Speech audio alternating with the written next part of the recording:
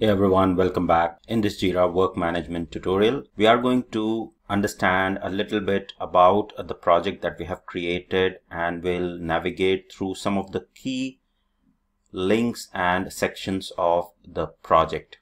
So we have took the template for the recruitment, but there are so many other templates. So basically, if you require Jira work management for any other department of your organization, you can go ahead and create project which fulfills that particular department's requirements. Say for example, sales or marketing, right?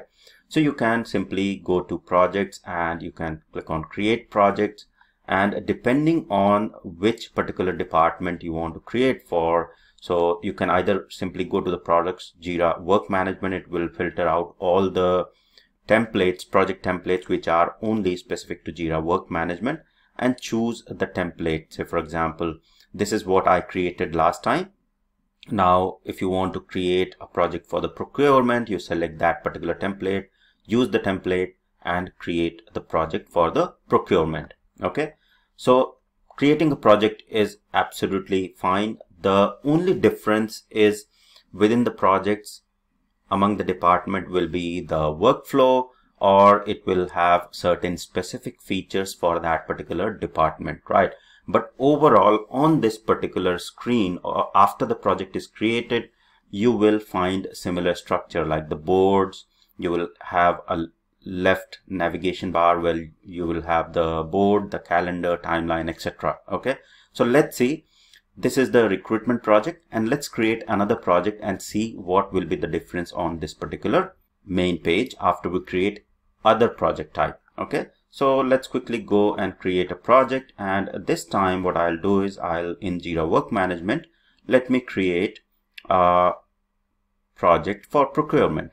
All right. So you can see the workflow that procurement uses it is bit different, right? It's not same.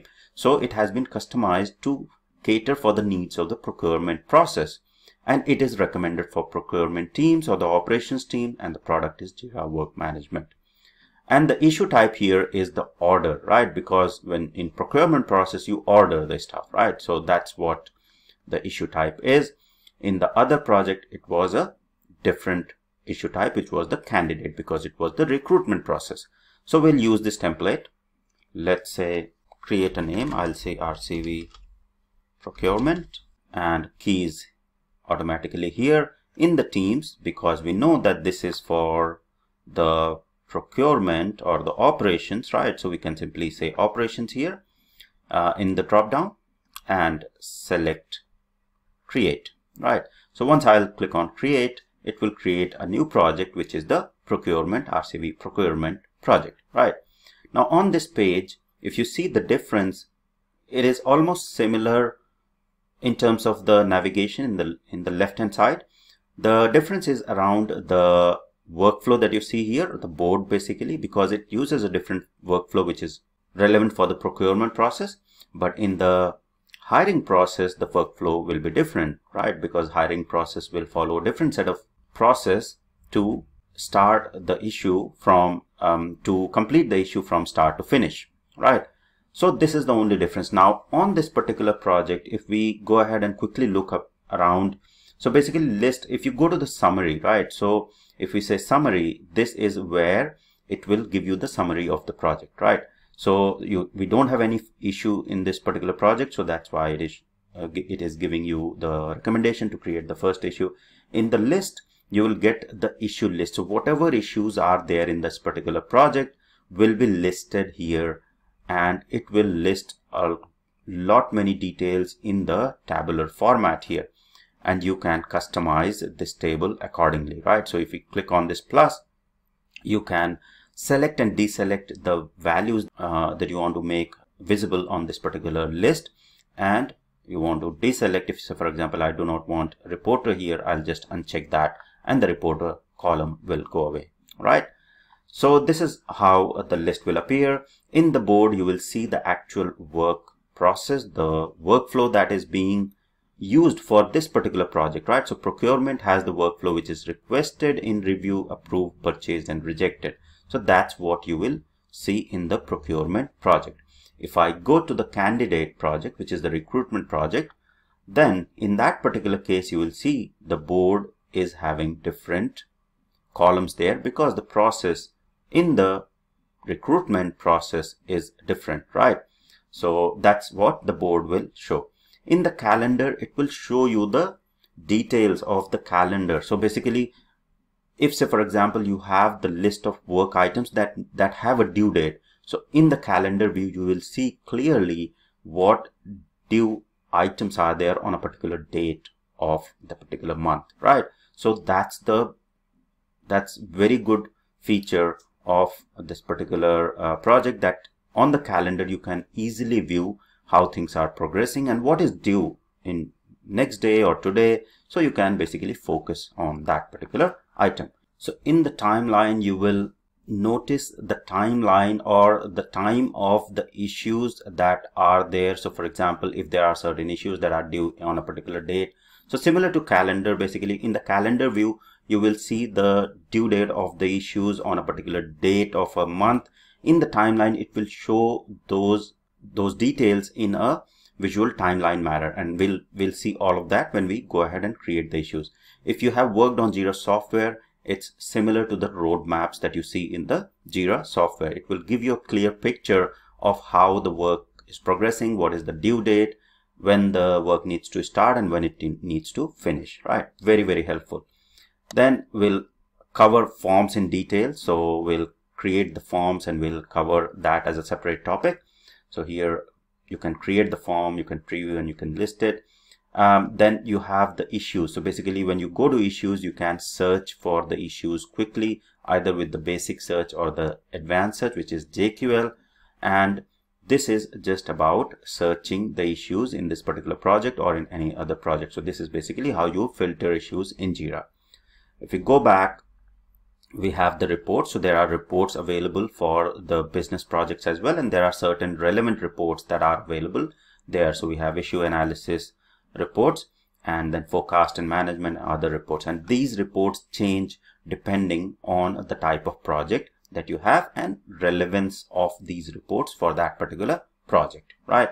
So once we cover the report, so we have this business um, project basics. If you go to this particular link, it will give you the details of the how the Jira Work Management Cloud works. You can go through all of these tutorials if you want to, but if not, this is pretty self-explanatory and I'll be covering most of the content anyways as part of this Jira Work Management tutorial series. Then you can add another link, another item here, which is basically the shortcut if you want to add certain link of the website or any Confluence page you can go ahead and add it here, right? You can provide the web address and the name and click on add and that link will be added here as an item. Then in the project settings, which is the advanced settings, which we'll cover as part of separate tutorial again, wherein you can customize the details or the screens or what fields you see on this particular uh, in this particular project when you create issues that all can be customized in the project settings and you need to be admin for getting the project settings details, right? So this needs to be, you need to be project admin to configure the project details for a particular project. So this is all about this particular menu. At the top, you will see the your work wherein you will get, if you drop down, you will see the recent and the boards, which will show you all of your work. In the projects, it will show you all the projects that are available there. And if you are a member, you can access those projects. Filters is again the filter or how you find the issues similar to what we have seen the issues here, right? So it's the same thing. If you click on issues or you click on filters, it will open the search screen wherein you can search by the basic or the advanced search. So you can either click on advanced uh, issue search. So if I click on advanced issue search, it will open this JQL, right?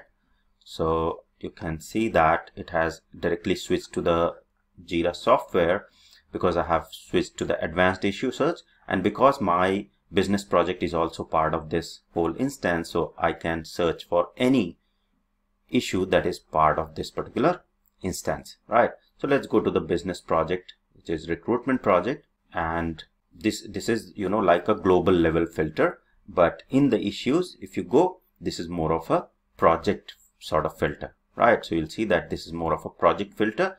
If you go to filters at the top it is more of a global filter which will filter your overall jira instance.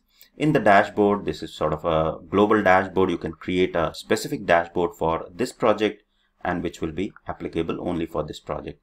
In the people you can create your own team add the members of the team and have the team. In the apps you can explore the Atlassian marketplace and there are many good apps for your business teams that if you want additional functionality for your teams you can go to the apps and install the apps from the Atlassian marketplace. There are free apps paid apps. All of that is possible from the Atlassian marketplace. All right in the right hand side, you will see that you have the settings. These are the global settings or the administrator Jira administration uh, administration settings. So if you have administrator access, you will see this cogwheel. Otherwise, this will be disabled, right? Here, this is the notification. If you are assigned something or you are mentioned somewhere, then you will get notifications here. This is more of a help. And here you can change your profile and display settings, right? Now these are all the concepts that I have covered in my Jira tutorial anyways, but I'm covering these because considering that this is the basic series for the business users, I just want to cover all the aspects of any new person who is trying to use Jira uh, in the business team so that they are comfortable even if they are very new, do not know anything about Jira, they can understand and know how to use Jira for the business teams and what value Jira can bring to their business team. And it will be really helpful if you just follow along and see the power that it can bring and the streamlining of the process that can happen when you use Jira for business effectively. So that's all for this tutorial. I hope it was helpful. Thank you very much for watching.